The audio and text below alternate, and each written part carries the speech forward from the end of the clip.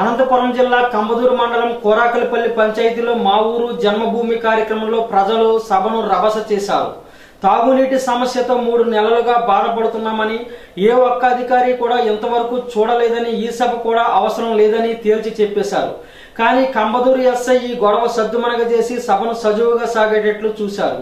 ZPTC K Rammohan Chowdary మాట్లాడుతూ ప్రజల సమస్యలు పరిష్కరించేందుకు గ్రామంలో చర్చించి గ్రామ పంచాయతీలో తీర్మానం కొరకు గ్రామ పంచాయతీలో ఆరవ విడత మా ఊరు జన్మభూమి కార్యక్రమం పెట్టడం జరిగిందని ప్రజలకు హామీ ఇవ్వడం జరిగింది. రామరెడ్డి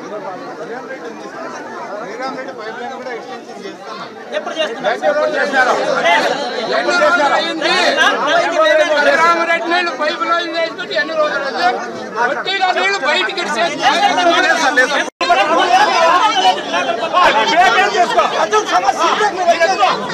తొంభై ఏళ్ళ ముసలం ఉంది